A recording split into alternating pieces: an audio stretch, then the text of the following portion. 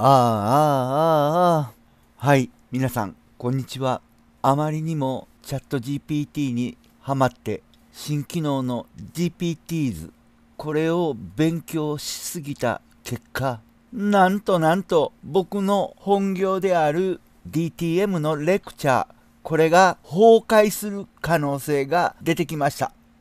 はい、こんにちは。村長ミュージックスタジオです。また最近は AI 初心者教習所というチャンネルを新しく開きましてこの動画は両方のチャンネルで公開させていただいています。どちらのチャンネルを見ていただいている方もよろしくお願いします。今日はよろしくなのか悲しいのかよくわからないぐらいチャット GPT の GPTs を自業自得のように作ってしまいました。今画面にあるのがそのソフトです。僕は基本的にスタジオ1という DAW を得意としているわけです。その他には Cubase も持っていまして2つの DAW なら大体のことはわかるんですけれども今日ご紹介する DAW Help という GPTs は全ての DAW のお助けチャットということです。まだもう少しブラッシュアップしたいところはあるんですけれども、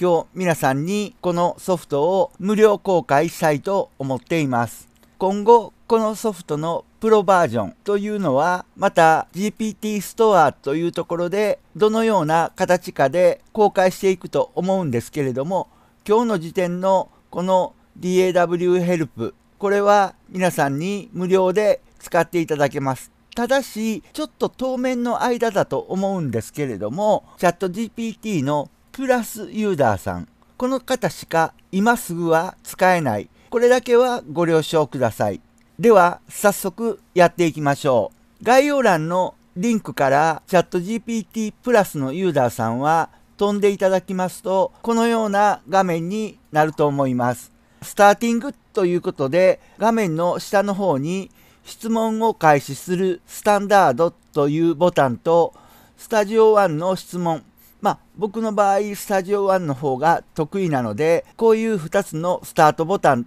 というのを設けさせていただいています。通常は左の方のボタンから開始していただければいいと思います。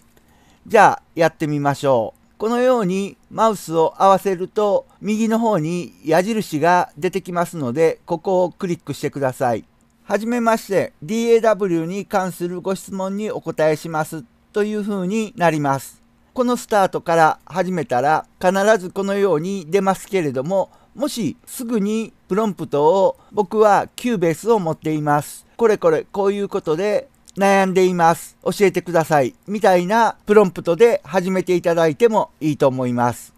どのような DAW ソフトをご利用ですか？と聞いてきていますので、スタジオ1と打ちます。まあ、できたらバージョンまで打っていただくといいのではないかなと思いますが、これはある程度曖昧でも大丈夫です。しばらく待っていると、このようなメニューが出てきます。今日現在、このバージョンでは15までの項目が出てきます。この項目番号を答えていただければいいと思います。全般なのか、そして各メニューのボタン操作、そういうものなのかというようなことです。例えば、何かのショートカットを知りたいなというふうになります。その時にもう DAW ヘルプはスタジオ1ということを最初に想定していますので、これ以降はスタジオ1のことだということは言ってくれなくっても、スタジオ1の質問だなというふうに特別途中で DAW の名前を変えない限りは、そのことについて回答をしてくれるようになります。じゃあ5番ということで5。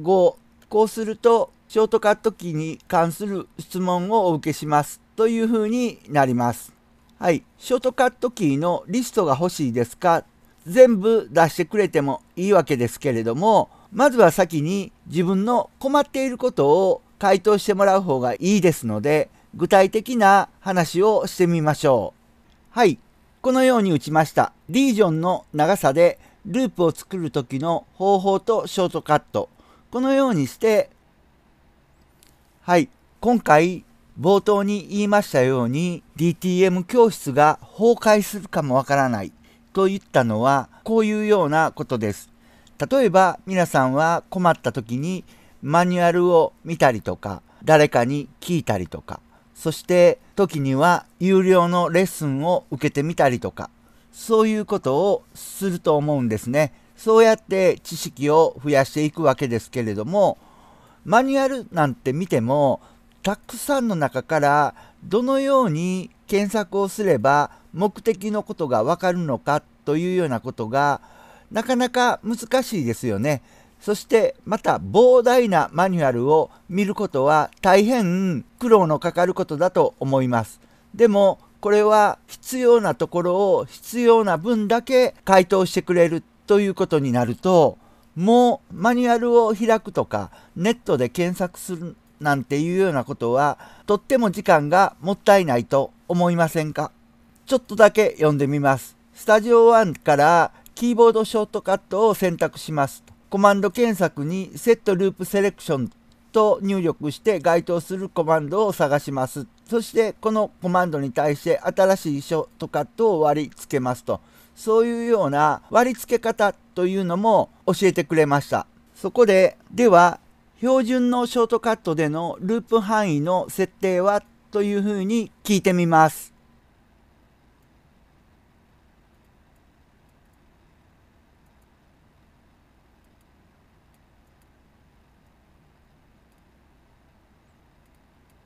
マニュアル以上に太字になったり、ちょっと大きめの文字になったりしてくれるので、とっても見やすいと思いませんか？そしてうまく箇条書きになってくれているので、こういう回答ってありがたいですよね。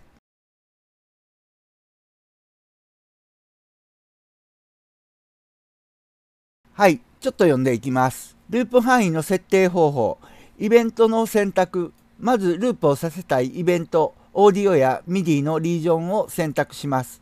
2番目にはタイムライン上でループしたい範囲をマウスでドラッグして選択します。P のキーを押すと、ここ重要ですよね。選択範囲がループ範囲に設定されます。これはロケートセレクションまたはセットループトゥセレクション機能に相当します。ということでね、まあまあ深い解説、ここまで言ってくれなくても P キーだけだということで教えてくれてもいいんですけれども、そして抜からずですね、その後範囲を設定しても、スタジオ1の場合、ループというのを有効か無効かにするのには、点キーのスラッシュキー、これを押して入れたり切ったりできるのが、スタジオ1の使用方法です。全く間違っていません。ここで注意点ということまで教えてくれています。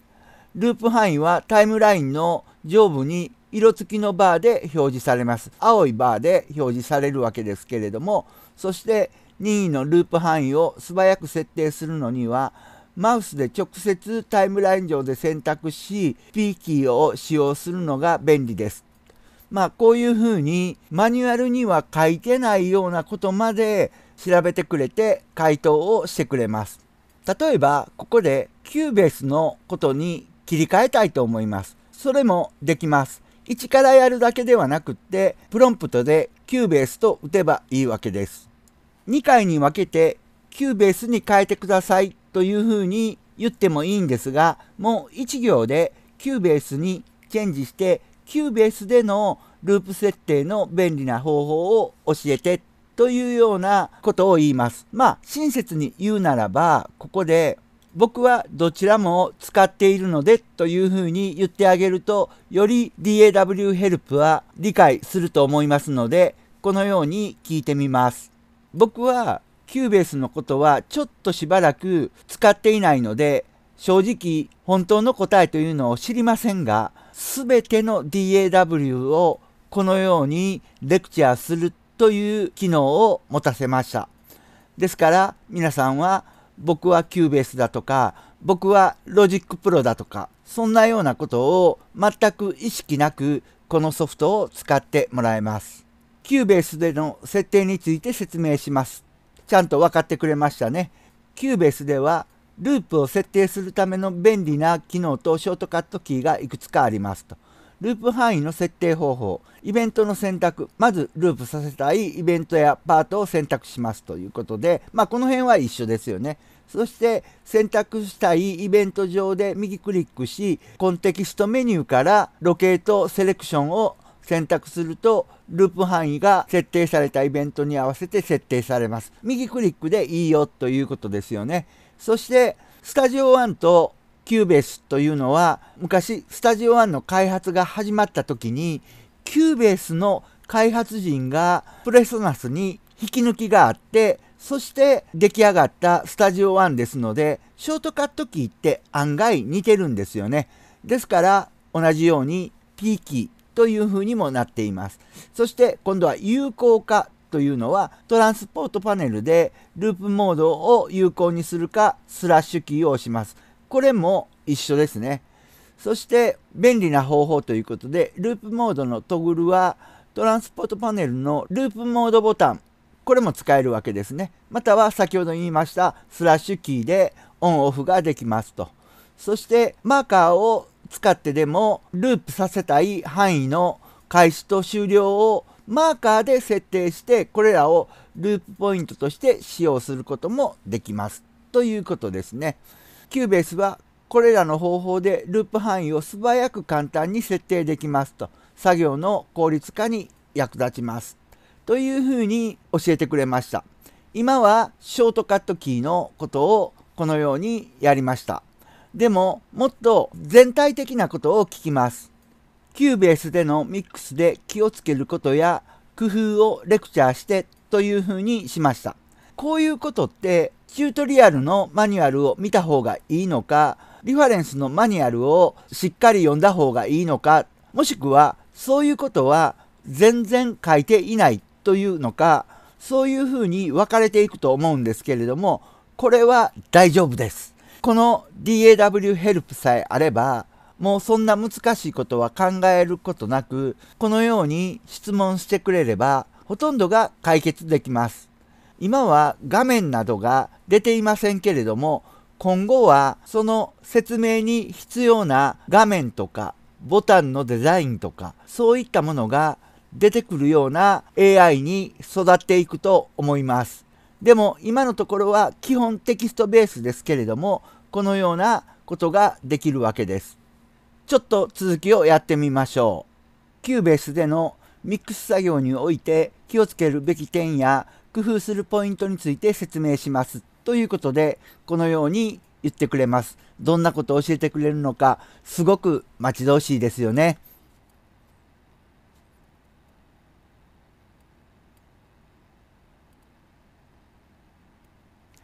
特に初心者さんの場合どういう順番でやったらいいのかそしてバランスを取るということは分かっていると思いますミキサーでミックスをするわけですから大きな音小さな音それらを好みのバランスにしていくわけですけれども多分本当にやりかけた人ってイコライザーのことやダイナミクスのことコンプレッサーやリミッターの話ですねそういうようなことってまあ聞いていって使っていって分かることですよね。でもこのように最低限必要なことを教えてくれたらですね本当に初心者の勉強にも十分役に立つと思うし上級者の方は自分のやっていることが順番的にそれでいいのかというようなことの再検討にもなると思います。そして難しいオートメーションのことなども教えてくれてますしグループトラック同種の楽器をグループトラックにまとめて一括で処理できると効率よくミックスができます。まあこれ初心者の人はやってる人は少ないですよね。そして鮮度エフェクト、リバーブやディレイの使い方などについてもこうやってお話を書いてくれています。4番目重要なことですけどもリファレンストラックいわゆる参考にしたいような楽曲を一つトラック作ってですねいつでも聴き比べができるそういうようなことも重要ですよということです。モニタリング環境の確保ということで信頼できるスピーカーやヘッドホンでミックスすることが重要です。このようなことが回答してくれるわけです。もちろんここから深掘りもできます。信頼できるスピーカーやヘッドホンって出ましたからはいヘッドホンで人気の機種などを5つ挙げてというふうにしましたそしてこれはリスニングじゃなくて DTM で使うことを前提とした答え。それを出してくれます。通常いいヘッドホンがありませんかと聞くとですねウェブブラウザーの検索などでは人気の機種とかそういうのが出てきてしまいますがそれは DTM のモニターとしてはあまり推奨されないものも出てくる可能性があります。でもこれは DTM の話をしていますのでそこらはすごく DTM に適した回答をくれるということになります。オーディオテクニカ ATH-M50X いいですね。まあソニーの機種とかアーカーゲーの機種とか。やはり DTM で使えそうなヘッドホンをチョイスしてくれてると思います。このように DTM のことをいろんな角度から聞いても100点の回答ということには至らないかも分かりませんけれどもかなり信頼度の高い回答が出てきてくれる。まあ好みというのも DTM の場合はありますので一概に正解とか不正解とかいうようなことはないと思うんですけれどもでも DAW の使い方に関しては特に DAW をチェンジしたりした時に全く使い方っていうのがわからなかったりしますよね。ミックスやマスタリングについては前の DAW でうまくやってきたけれども新しい DAW に変わった場合はどのようにやればいいかそんなことに対してもこれが答えを出してくれる嬉しいのか悲しいのか僕もよくわからないで出来上がってきたらですねちょっとどうなのかなんて悩んでる今日この頃です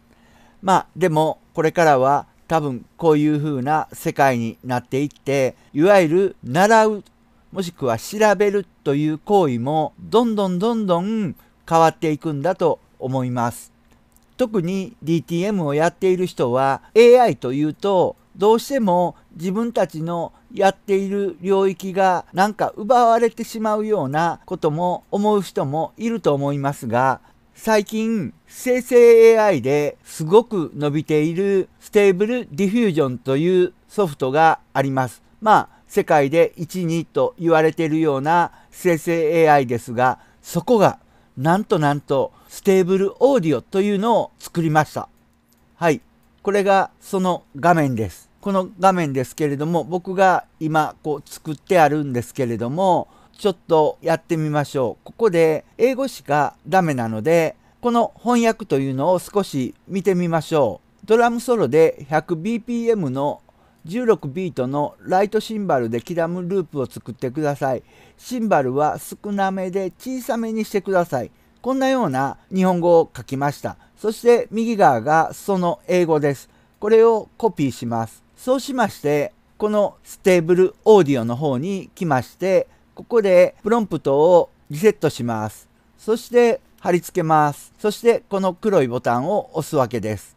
この右の上の方にある数字、今11となっていますが、これがポイントみたいなものでして、無料で使えるのは、ここの数字が残っている場合に限ります。有料版になると約1000円ぐらいと聞いておりましたが、そのぐらいで毎月使えるようになるんですけれども、まあ、まだ今は課金はしない方がいいと思います。完璧というところまでは行っていない気がしますので、もう少し良くなったら課金して使ってもいいんじゃないかなというようなところになる可能性もあります。ちょっとここでエラーが起こっていますが、ちょっと前にやったこのドラムループ、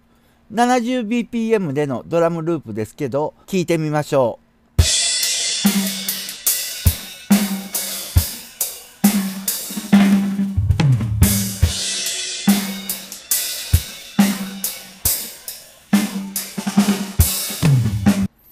なこと以外にですねこの生成 AI のいいのは今のようにドラムとかそしてギターとかそういうようなことをソロで作れるわけです。いわゆる全部を作ってしまうわけではないわけですね。これがとってもいいんじゃないかなというふうに思います。例えばここでバイオリンのソロそういうのを作ってみましたこんな感じです